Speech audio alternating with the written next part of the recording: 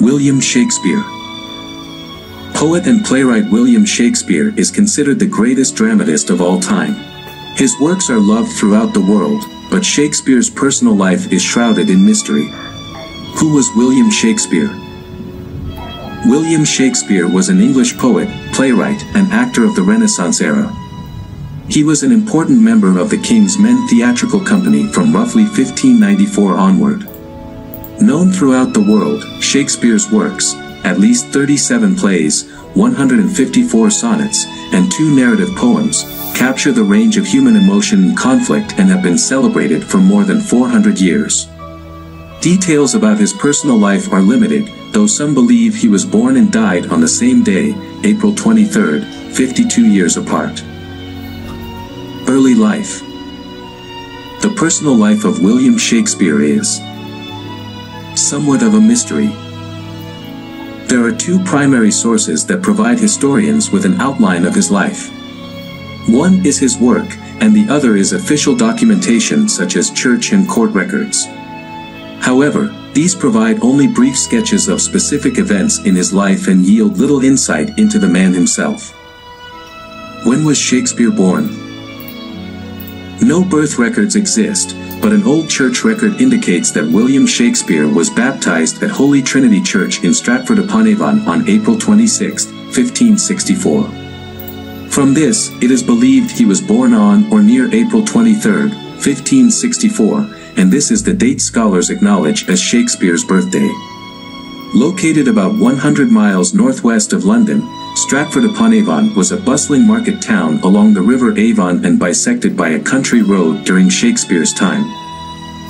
Parents and siblings Shakespeare was the third child of John Shakespeare, a glove maker and leather merchant, and Mary Arden, a local heiress to land. John held official positions as alderman and bailiff, an office resembling a mayor. However, records indicate John's fortunes declined sometime in the late 1570s. Eventually, he recovered somewhat and was granted a coat of arms in 1596, which made him and his sons official gentlemen. John and Mary had eight children together, though three of them did not live past childhood. Their first two children, daughters Joan and Margaret, died in infancy, so William was the oldest surviving offspring. He had three younger brothers and two younger sisters, Gilbert, Joan, Anne, Richard, and Edmund. And died at age seven, and Joan was the only sibling to outlive William. Childhood and Education Scant records exist of Shakespeare's childhood and virtually none regarding his education. Scholars have surmised that he most likely attended the King's New School, in Stratford, which taught reading, writing, and the classics, including Latin. He attended until he was 14 or 15 and did not continue to university. The uncertainty regarding his education has led some people question the authorship of his work. Wife and children Shakespeare married Anne Hathaway on November 28, 1582, in Worcester, in Canterbury Province. Hathaway was from Shottery, a small village a mile west of Stratford. Shakespeare was 18, and Anne was 26 and, as it turns out, pregnant. Their first child, a daughter they named Susanna, was born on May 26, 1583. Two years later, on February 2, 1585, twins Hamnet and Judith were born. Hamnet died of unknown causes at age 11. Shakespeare's Lost Years There are seven years of Shakespeare's life where no records exist, after the birth of his twins in 1585 until 1592.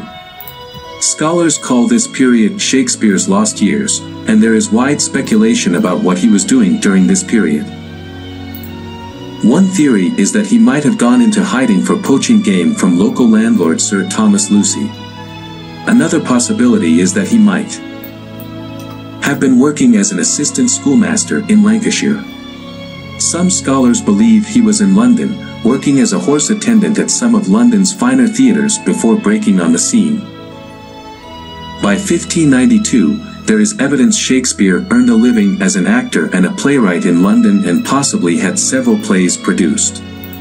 The September 20th, 1592, edition of the Stationer's Register, a Guild publication, includes an article by London playwright Robert Greene that takes a few jabs at Shakespeare. There is an upstart crow, beautified with our feathers, that with his tiger's heart wrapped in a player's hide, supposes he is as well able to bombast out a blank verse as the best of you, and being an absolute Johannes factotum, is in his own conceit the only shake scene in a country. Scholars differ on the interpretation of this criticism, but most agree that it was Greene's way of saying Shakespeare was reaching above his rank, trying to match better known and educated playwrights like Christopher Marlowe Thomas Nash, or Greene himself. Poetry and Sonnets Early in his career, Shakespeare was able to attract the attention and patronage of Henry Wriothesley, the Earl of Southampton, to whom he dedicated his first and second published poems, Venus and Adonis, 1593, and The Rape of Lucrece, 1594. In fact, these long narrative poems, 1,194 and 1,855 lines, respectively, were Shakespeare's first published works. Wriothesley's financial support was a helpful source of income at a time when the theaters were shuttered due to a plague outbreak. Shakespeare's most well-known poetry are his 154 sonnets, which were first published as a collection in 1609 and likely written as early as the 1590s. Authors broadly categorized the sonnets in groups based on two unknown subjects that Shakespeare addresses, the Fair Youth Sonnets, the first 126, and the Dark Lady Sonnets, the last 28. The identities of the aristocratic young man and vexing woman continue to be a source of speculation. The King's Men, Life as an Actor and Playwright In 1594, Shakespeare joined Lord Chamberlain's Men, the London acting company that he worked with for the duration of his career. Later called the King's Men, it was considered the most important troupe of its time and was very popular by all accounts. Some sources describe Shakespeare as a founding member of the company, but whatever the case, he became central to its success. Initially, he was an actor and eventually devoted more and more time to writing. Records show that Shakespeare, who was also a company shareholder, had works published and sold as popular literature. Although The Taming of the Shrew is believed to be the first play that Shakespeare wrote, his first published plays were Titus Andronicus and Henry VI Part II. They were printed in 1594 in quarto, an eight-page pamphlet-like book. By the end of 1597, Shakespeare had likely written 16 of his 37 plays and amassed some wealth. At this time, civil records show Shakespeare purchased one of the largest houses in Stratford, called New Place, for his family.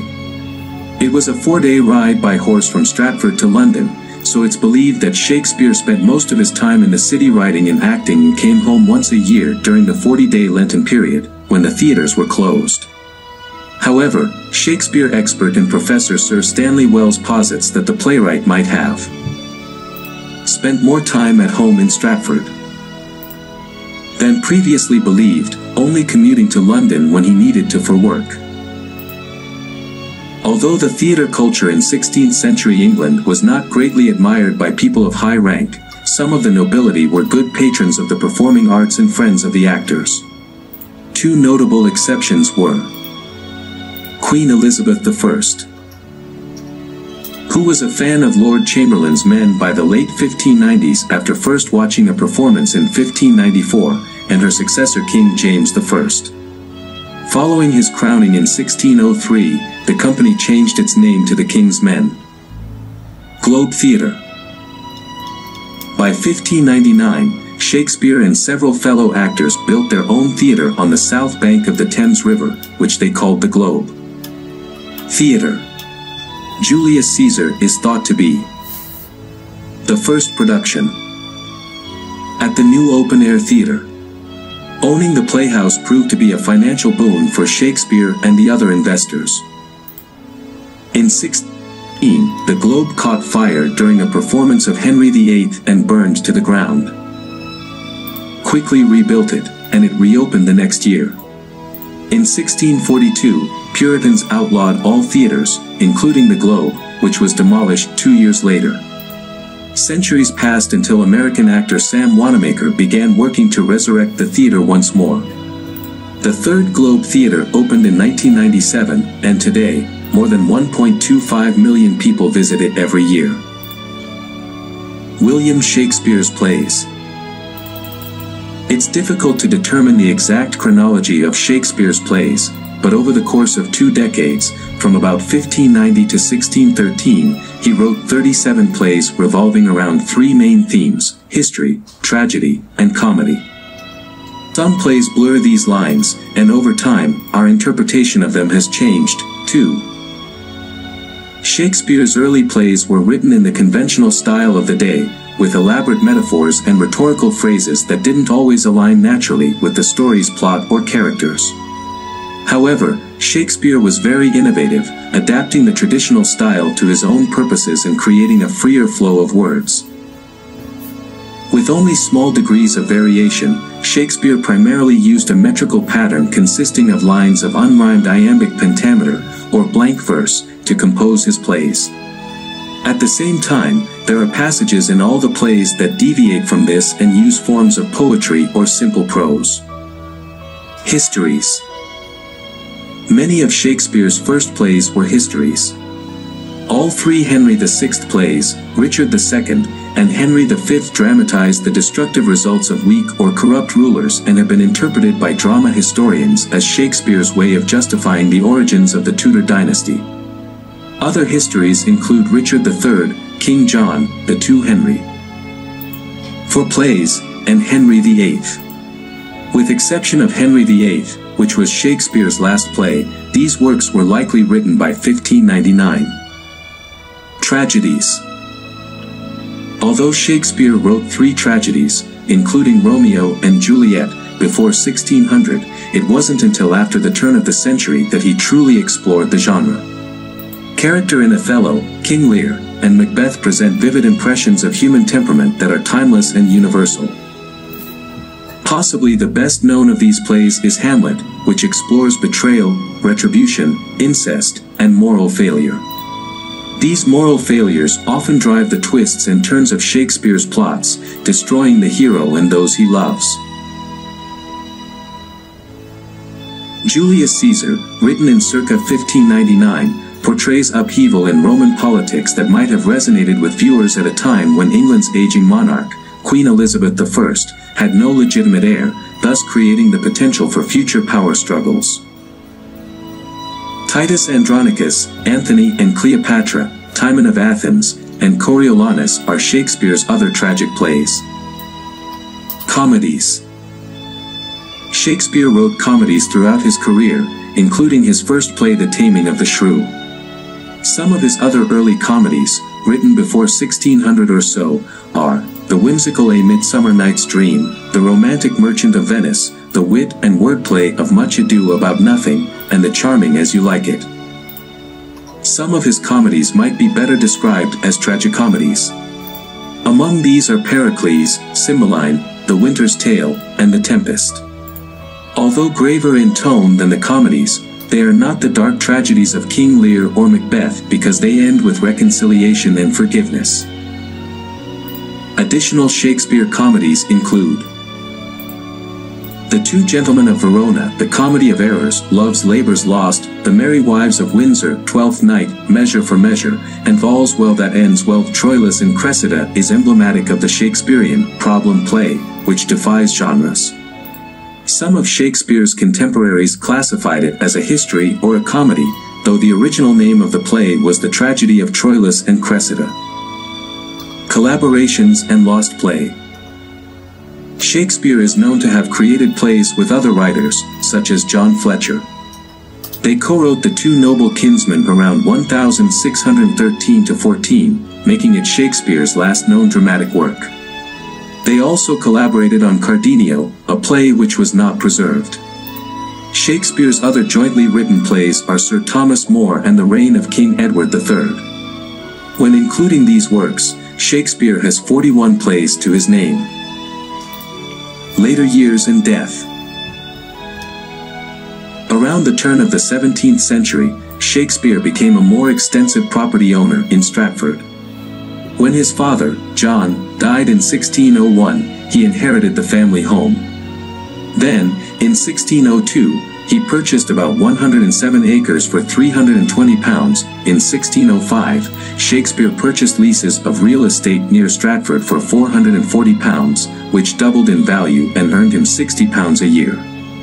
This made him an entrepreneur as well as an artist, and scholars believe these investments gave him uninterrupted time to write his plays. A couple years prior, around 1603, Shakespeare is believed to have stopped acting in the King's Men productions, instead focusing on his playwriting work. He likely spent the last three years of his life in Stratford. When did Shakespeare die? Holds that Shakespeare died on his 52nd birthday, April 23, 1616, but some scholars believe this is a myth. Church records show he was interred at Holy Trinity Church on April 25, 1616. The exact cause of Shakespeare's death is unknown, though many people believe he died following a brief illness. In his will, he left the bulk of his possessions to his eldest daughter, Susanna, who by then was married. Although entitled to a third of his estate, little seems to have gone to his wife, Anne, whom he bequeathed his second-best bed.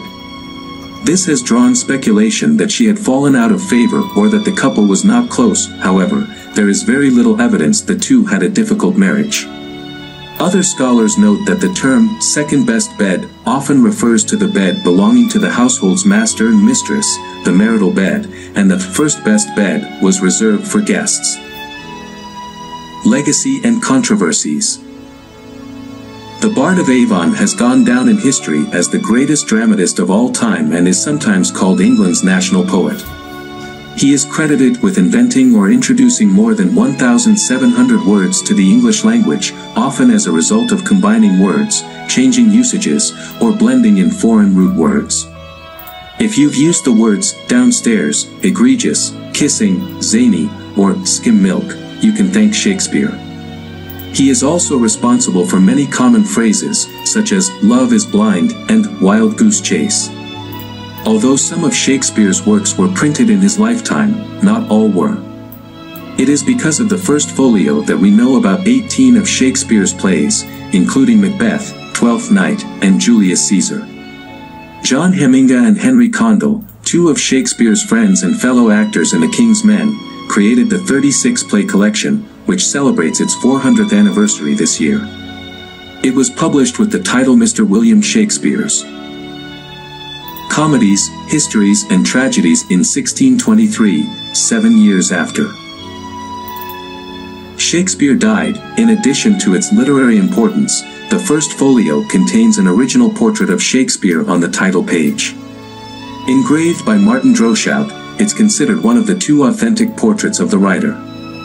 The other is a memorial bust at Holy Trinity Church in Stratford. Today, there are 235 surviving copies of the first folio that date back to 1623, but experts estimate roughly 750 first folios were printed.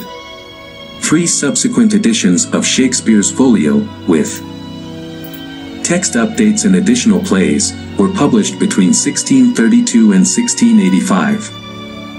Did Shakespeare write his own plays? About 150 years after his death, questions arose about the authorship of Shakespeare's plays.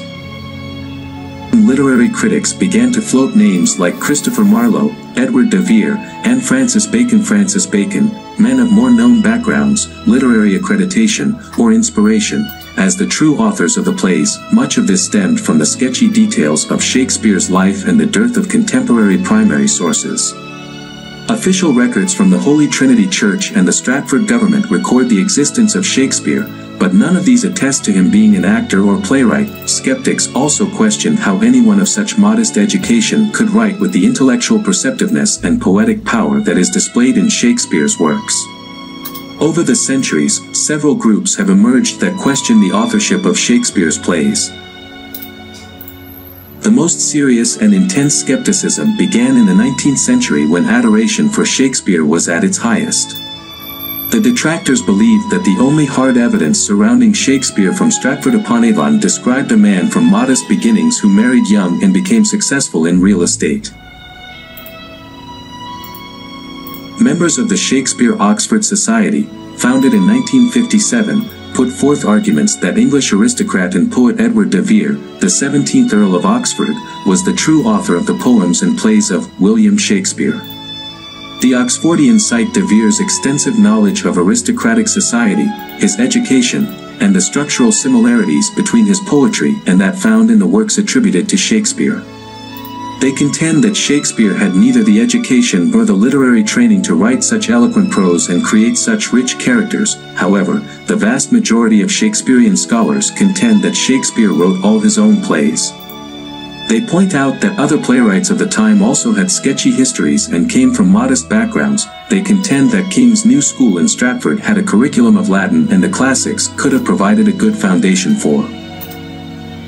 Literary writers Supporters of Shakespeare's authorship argue that the lack of evidence about Shakespeare's life doesn't mean his life didn't exist. They point to evidence that displays his name on the title pages of published poems and plays. Examples exist of authors and critics of the time acknowledging Shakespeare as the author of plays such as The Two Gentlemen of Verona, The Comedy of Errors, and King John. Royal records from 1601 show that Shakespeare was recognized as a member of the King's Men Theatre Company and a groom of the chamber by the court of King James I, where the company performed seven of Shakespeare's plays, there is strong circumstantial evidence of personal relationships by contemporaries who interacted with Shakespeare as an actor and a playwright. Literary Legacy what seems to be true is that Shakespeare was a respected man of the dramatic arts who wrote plays and acted in the late 16th and early 1, beginning with the Romantic period of the early 1800s and continuing through the Victorian period, acclaim and reverence for Shakespeare and his work reached its height. In the 20th century, new movements in scholarship and performance rediscovered and adopted his works. Today, his plays remain highly popular and are constantly studied and reinterpreted in performances with diverse cultural and political contexts. Of Shakespeare's characters and plots are that they present real human beings in a wide range of emotions and conflicts that transcend their origins in Elizabethan England.